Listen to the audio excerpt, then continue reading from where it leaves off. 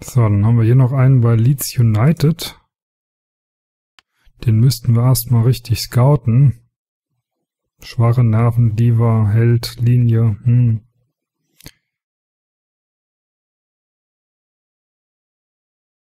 Hat nicht das Talent, was ich mir erwarte. Also den hier, den packen wir auch mal auf die Liste. Aber das ist, es ist keine gute Wahl. Sprachprobleme. Sprachprobleme sind, sind hier das Problem. Der kann Finnisch und Englisch. Hm.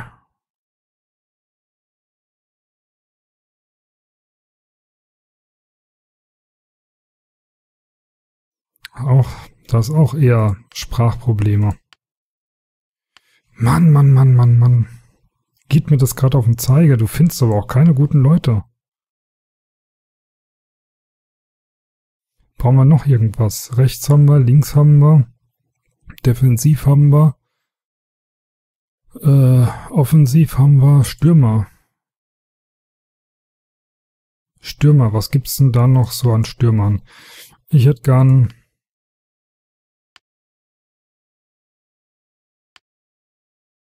Ein Stürmer, der Sturmtank ist.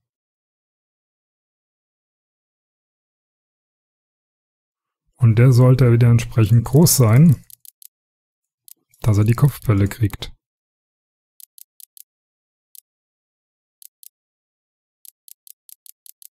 Ja, vielleicht war auch die Größe das Problem. Das kann natürlich auch sein, wenn ich hier hingehe und sage, okay, der sollte mindestens 1,70 sein. Wir, wir gucken mal, wir gucken mal.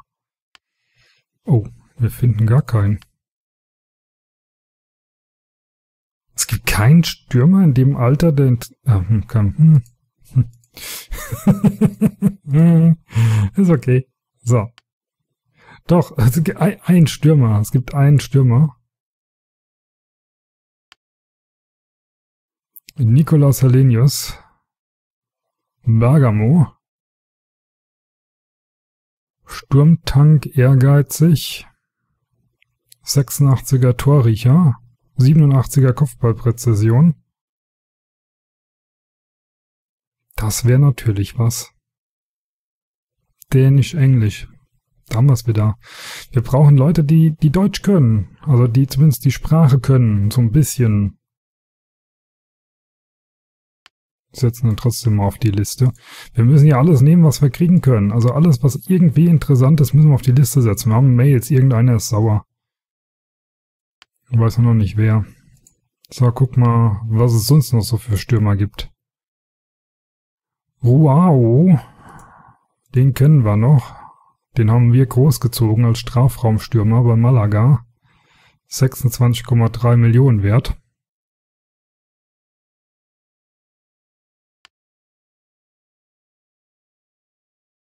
Den wollen wir aber nicht.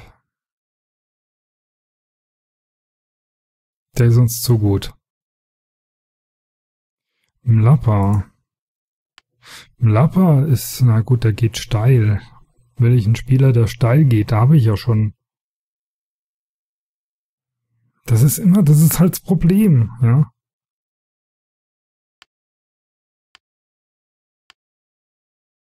Wir haben hier halt äh, ein paar blöde Problemchen.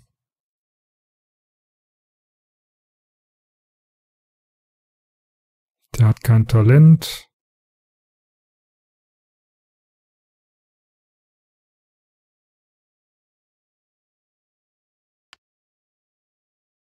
Zweiundzwanzig, das ist nicht richtig gescoutet. Geht steil, portugiesisch. Wir haben ja Rafinha.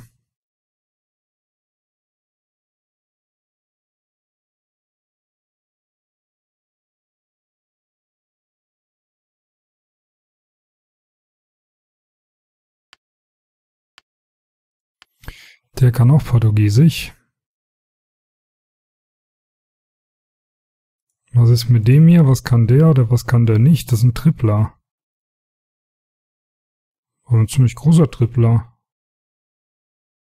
Finde ich gar nicht mal so schlecht. Vom Alter her passt.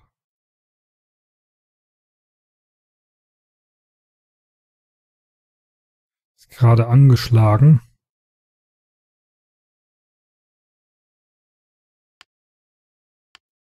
Ja, das ist, puh. Ich meine, Ruau, das wäre natürlich, ich meine, hallo, Ruau, das wäre natürlich.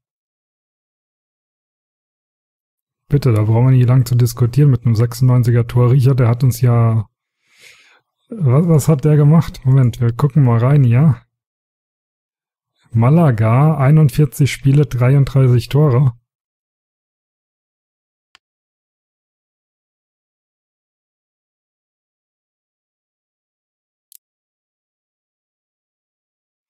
So, 28 Spiele hat er gemacht.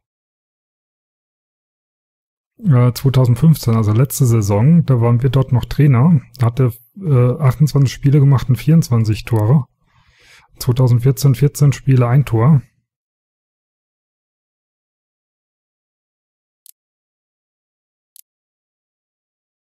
Ja, dann haben wir von ziemlich weit unten ziemlich weit hochgeholt damals.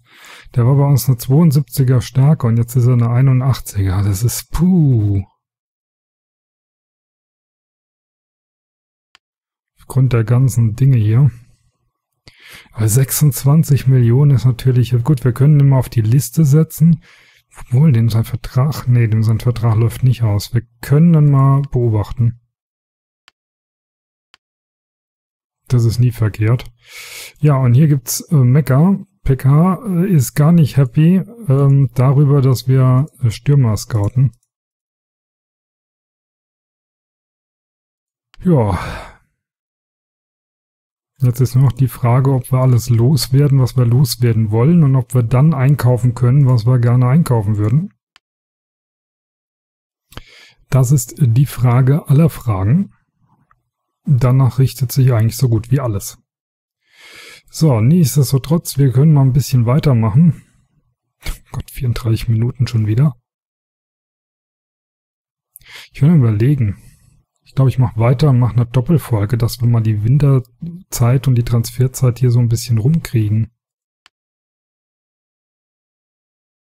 So, Weihnachtsfeier, Jugendspieler entdeckt, 16, Drehs, Verteidiger 63, Innenverteidiger baut das Spiel auf verletzungsanfällig, flexibel, mediengewandt. Mediengewandt. Wahnsinnstalent nehmen wir natürlich. Schöne Weihnachtsfeier. Die Feier wurden voller Erfolg. Die Stimmung war großartig. Spieler feiern bis in die Morgenstunden. Spieler verlieren fünf frische Punkte. Macht nichts stehen keine Spiele an und da ist die Einigung erfolgt. 4,5 Millionen kommen wieder rein, weil Elia weggeht. Nach Rotterdam.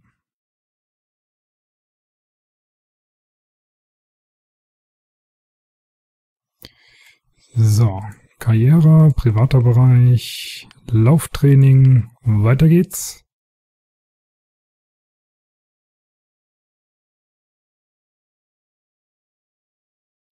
So, was haben wir hier? Hinweis, Assistenten.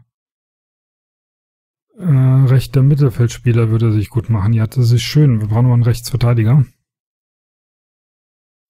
Datenbanken wurden aktualisiert. Scouting, wie sieht's denn da aus? Da gibt's doch bestimmt Leute, die... Na, klar gibt's da Leute, die nichts zu tun haben. Und da gibt's schon wieder Scouting-Aufgaben.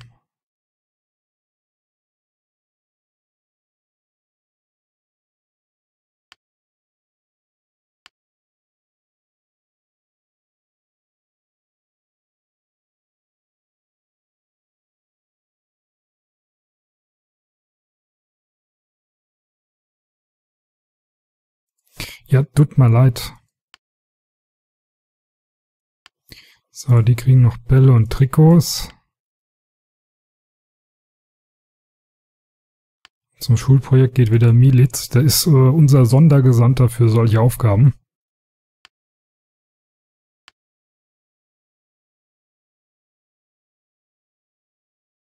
Mhm. Da passt was mit dem Mentor nicht. Nehmen wir den so lang. Was haben wir hier? Ein Stürmer, Moschel.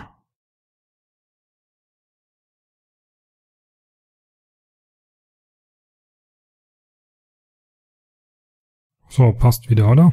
Ja, das Problem ist ganz einfach, ähm, wir können von denen keinen übernehmen. Da ist keiner in der Lage, auch nur in der zweiten mitzuspielen. Bräuchten da mindestens eine Stärke von 60, damit die für die zweite überhaupt in Betracht kämen. Das heißt, das sind wahnsinnige geile Talente dabei, aber eigentlich total für einen Eimer. Normalerweise müsste ich denen noch allen äh, die Mentoren entziehen. Dass ich die alle zur Verfügung habe hier für die anderen Jugendspieler, damit das besser hinhaut, damit ich da wirklich gute Leute habe. So, jetzt haben wir hier den. Wow, das ist ein Mann. Das ist gut. Den setzen wir auch ein. Welcher Innenverteidiger geht nicht hoch? Der Mönch geht nicht hoch. Den lassen wir weiter trainieren. Und den Kartell, den nehmen wir raus. Den tun wir auf die Bank setzen. Für, für, für wen?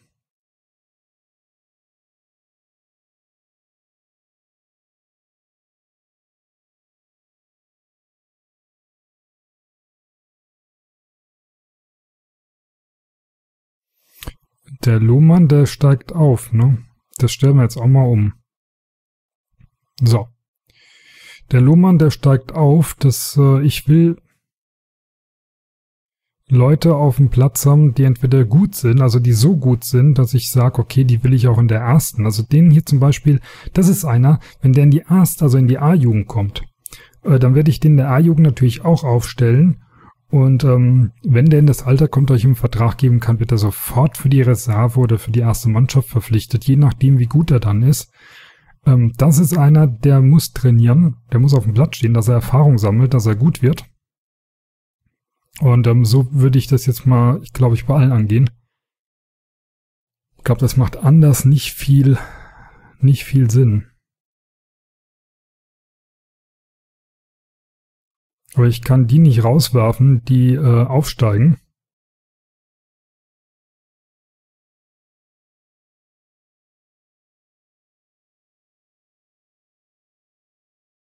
Haben wir eigentlich Linksverteidiger? Wir haben keinen einzigen, doch da haben wir einen. 45er Linksverteidiger. Nee, das ist zu schlecht.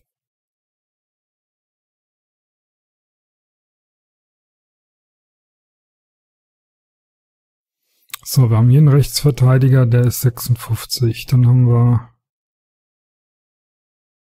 58er zentrales Mittelfeld. Linkes Mittelfeld 45, linkes Mittelfeld 42.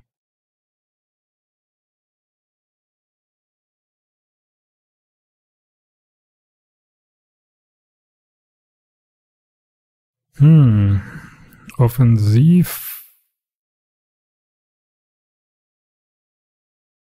Okay, da sind wir gut bestückt im offensiven Mittelfeld. Der links außen hier, ich glaube, der macht wenig Sinn. Den müssten wir eigentlich feuern. Aber wir ziehen die gnadenlos, wir ziehen das durch, wir, wir feuern keinen. Die sind dann halt alle unten Tribüne, die spielen dann halt nie bei uns. Wurscht. Die kriegen dann auch später keinen Vertrag und ist das Thema durch. Solange die so gute Werte haben wie äh, viereinhalb Sterne, ist das ja auch eher positiv, dass wir die haben. Ähm, dann haben wir den hier, den hier. Was ist mit dem? Defensiver Mittelfeldspieler. Da haben wir hier einen, der steigt auf. Der und der Defensive, den wir jetzt haben, der steigt auch auf. Das macht keinen Sinn. Trainieren wir den um oder was?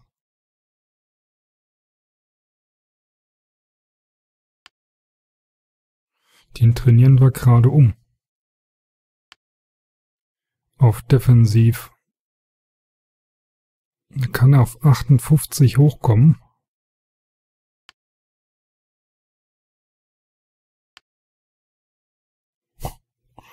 Und der ist schon bei 62.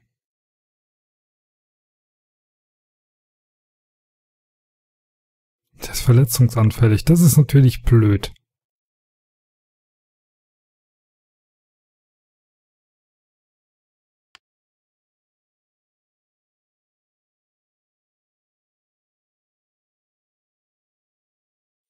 Nichtsdestotrotz Wir stellen um.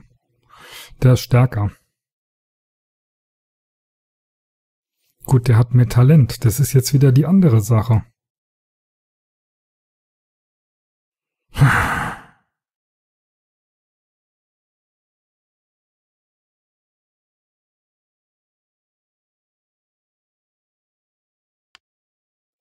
Müssen der Tabelle mehr punkten. So, das ist das Argument. Wir müssen in der Tabelle mehr punkten, deshalb wird das umgestellt. So, Jugendmannschaft, B-Jugend. Linkes Mittelfeld ist natürlich bei uns so eine Geschichte. Wir haben einige Spieler fürs linke Mittelfeld, aber wir haben keinen, der wirklich gut ist. Schluss haben wir dann links außen da auf der Position stehen, genau wie im rechten Mittelfeld. Da haben wir einen Rechtsaußen auf der Position stehen. Und trotzdem macht der 61. Das ist unglaublich. Oh, Zehner Talent, ey, das. Rechter Mittelfeldspieler, der wird auch hochgezüchtet jetzt. Da sind auch noch zwei Punkte drin. Dann ist er auf dem Niveau vom Rechtsaußen im rechten Mittelfeld. Schwieriger Charakter, das ist natürlich wieder das Problem.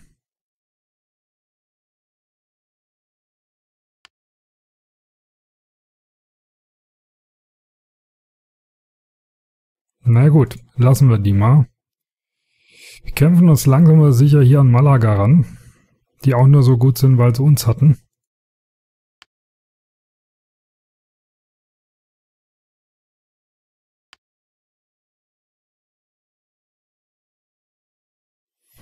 So, da sehen wir nochmal Tabelle und pra pra pra, Nachrichten und so weiter. So, wie sieht's hier aus? Der ist zurück in der Jugendmannschaft. Wer ist das? Alter! Ey, es ist aber auch ein Drama. So, Aktion, Spiele anbieten. Ich würde den schon ganz gerne loswerden. Allerdings für einen gescheiten Preis. Andernfalls behalte ich den auch. Aber 2,5 Millionen zahlen wir dem. Also im Prinzip müssen wir froh sein, wenn wir den los sind. Dann haben wir wieder Gehaltsbudget frei. Komm, 1,5 Millionen. Irgendeiner bietet mir doch 1,5 Millionen. Bitte, bitte, bitte. Und das ist ein guter Spieler. Das ist, ich würde den sofort behalten, wenn der diese blöde Gelasseneigenschaft, diese schnell Zufriedenheit hätte.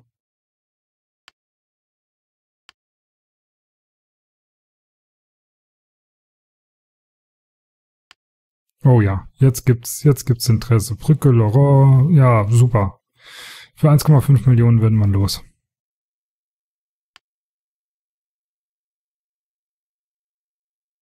So, und was war mit dem hier? Was sind das für einer? Das ein Rechtsverteidiger, 6, das macht keinen Sinn. 56er Rechtsverteidiger in der B-Jugend. Es ist ja nicht so, dass wir in der B-Jugend keinen Rechtsverteidiger hätten.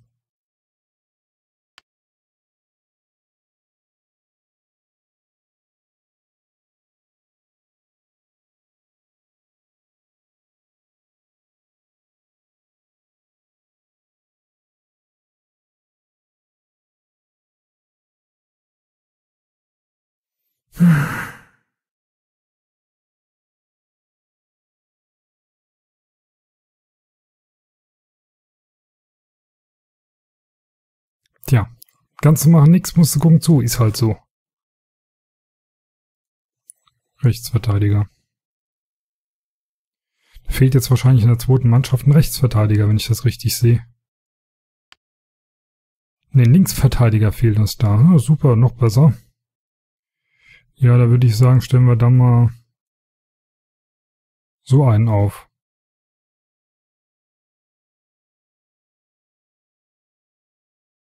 Was verdient der? Den können wir vielleicht da unten. Oh, 2 Millionen ist mir zu viel für die zweite Mannschaft.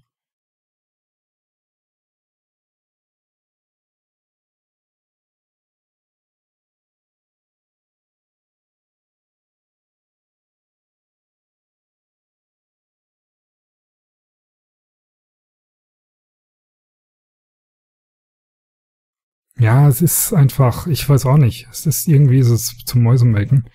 Ergebnisse, wie sieht's da aus? Ja, wenigstens das ist gegeben, dass wir uns da oben mit aufhalten.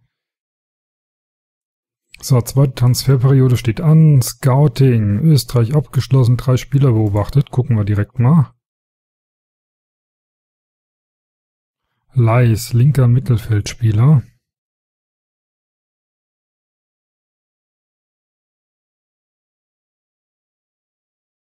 Hm.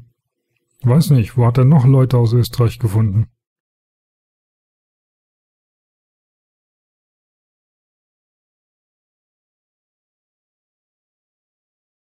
Also den hier können wir mal äh, ins Blickfeld nehmen. Es ist nie verkehrt, ein gutes Blickfeld zu haben. Dann löschen wir mal die ganze Liste hier. Das ist ja, das ist ja Blödsinn. Wir haben ja auch einiges an Stürmern drin, ja. Hier im Napper, dann haben wir, ich glaube, wir haben hier sogar als Stürmer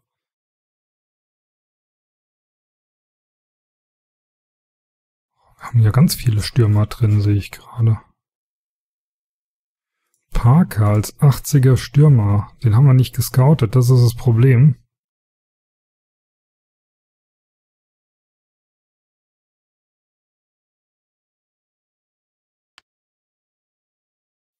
Wir müssen mal ein bisschen Blickfeld scouten. Das da macht keinen Sinn. Österreich zu scouten. Ich glaube, Deutschland zu scouten macht auch keinen Sinn mehr. Warten wir die zwei Tage noch ab, dann stellen wir das auch ein.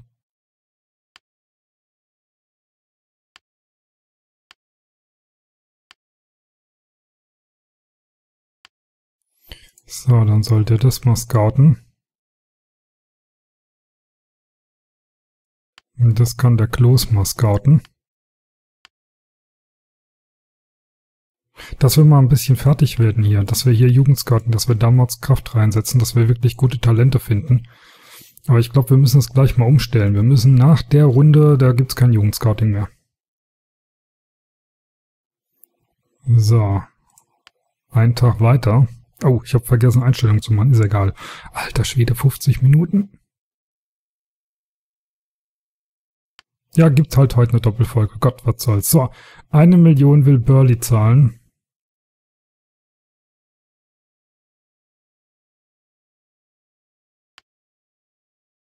1,4 Laurent.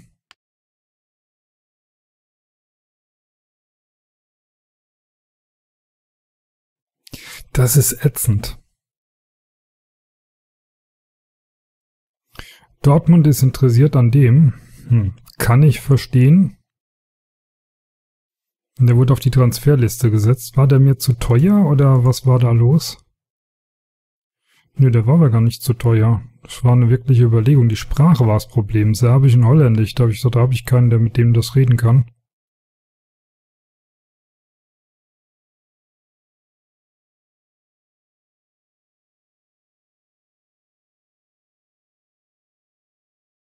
Hm.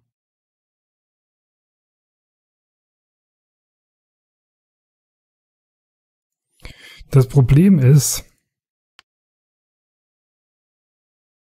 wenn ich den hole, dann für Raffinia. Und wenn ich den für Raffinia hole, weil der zu alt ist, dann habe ich keinen mehr, der Portugiesisch in Deutsch kann. Und dann kann ich den anderen Portugiesen nicht mehr verpflichten. Weil ich dann keinen habe, der das kann. Das ist das Problem an der Geschichte.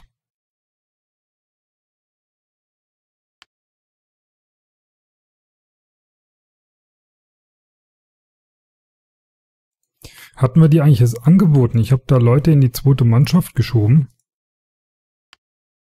Hatten wir den angeboten zum Verkaufen?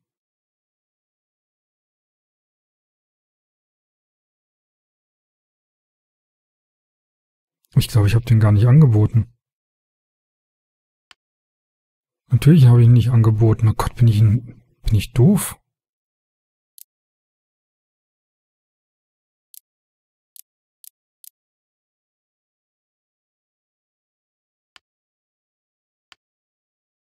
Bong für 8 Millionen direkt ein Angebot reingekriegt. Hertha und Nürnberg sind an dem interessiert. Für 8 Millionen.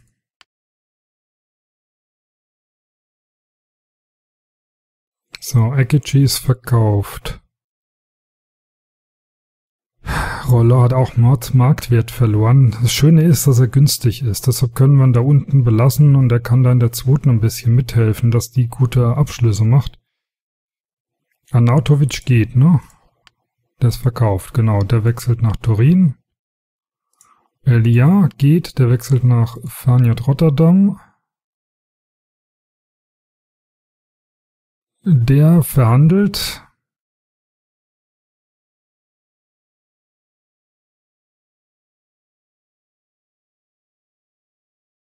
Ist das übel?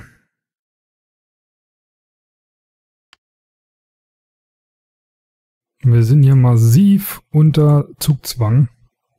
Wir haben eine Woche noch Zeit, äh, Verträge unter Dach und Fach zu bringen, sowohl Verkäufer wie auch Käufer, die wir dann hoffentlich zum äh, Saisonwechsel bei uns haben.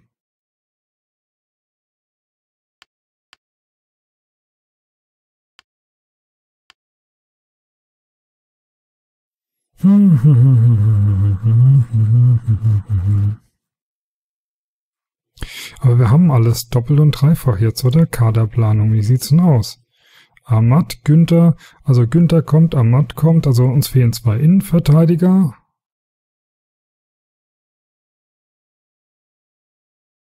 Und ja, im Sturm vielleicht noch eins, eins bis, ja, ein Stürmer. Wir haben ja auch noch Kobilanski.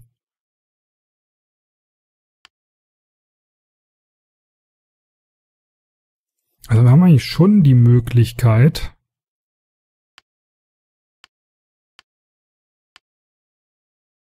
wir haben eigentlich schon die Möglichkeit, äh, hier Spieler zu scouten, wo wir sagen, an denen sind wir extrem interessiert. Ruau wäre natürlich für mich, das wäre natürlich der Hammer, wenn wir Ruau kriegen könnten.